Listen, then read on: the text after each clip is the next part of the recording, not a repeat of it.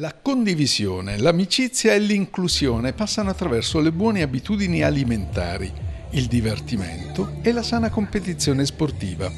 È quanto emerso dall'incontro informativo dal titolo Il potenziale educativo dello sport e abitudini ecocompatibili con la partecipazione di esperti e ospiti di rilevanza nazionale organizzato dalla scuola di ciclismo Ludobike di Biceglie. Noi proprio come eh, adulti dobbiamo dare la possibilità a tutti questi ragazzi di poter eh, fare un'attività sportiva.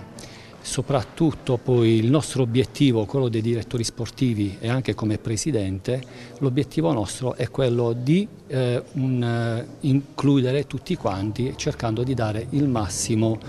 eh, delle nostre capacità. Il forum all'interno della manifestazione Puglia, Bici e altre felicità è stato organizzato con il contributo della Regione Puglia, assessorato allo sport per tutti, con il patrocinio del Comune di Bisceglie, della Federciclismo e della Federazione Italiana Sport Paralimpici degli intellettivo relazionali. Veniamo da una stagione in cui abbiamo partecipato a diverse attività dove lo sport ha fatto da eh, trade union con tutto quello che riguarda l'inclusione perché poi lo sport è e deve essere un veicolo per parlare di altri temi, in questo caso si parla non solo di inclusione ma anche di felicità che è il punto di partenza per, di, di partenza per tutto quello che noi facciamo e che le società sportive dovrebbero fare. Quindi noi come amministrazione siamo assolutamente vicini e sosterremo tutte le iniziative che parlano di questi temi. Un weekend di festa pensato per tutta la famiglia, filo conduttore delle due giornate, le buone pratiche, i comportamenti che stimolano i bambini e i ragazzi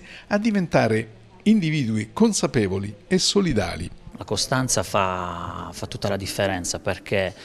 l'allenamento dopo allenamento, eh, il potersi preparare per una gara, il poter vincere ma allo stesso tempo perdere possono fare la differenza nel, nel proseguio della, della, propria attività atletica. Quindi lo sport insegna questo, a saper vincere ma anche a saper accettare le sconfitte, a cooperare, collaborare con i propri compagni di squadra e a rispettare soprattutto l'avversario.